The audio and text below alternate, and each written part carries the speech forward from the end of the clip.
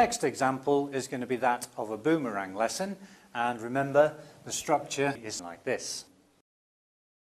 So again, we're going to start with an engage phase. And for our engage, the students are just going to have a discussion about jobs, what happens at interviews, and so on and so forth.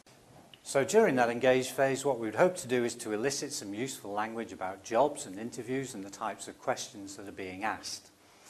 Then we're going to move immediately into an activate activity, and this is going to involve a role play. So we'll break the students into pairs. One will be an interviewer, the other will be an interviewee, and they'll generate the language that that role play will produce.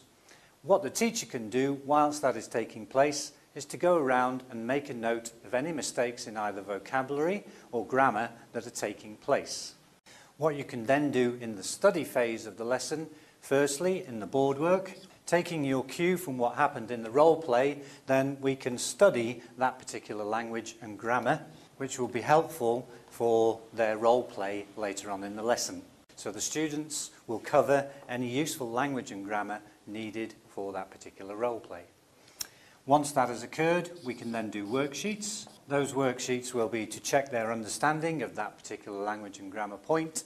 And then finally, we can repeat the role play as our final activate activity, perhaps swap down the interviewer and the interviewee so they get to play a different part.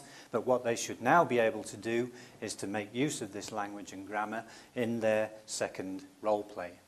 Hopefully what we will show the students is that there is a gap in their knowledge in this first one and that they can then use that language in their second one.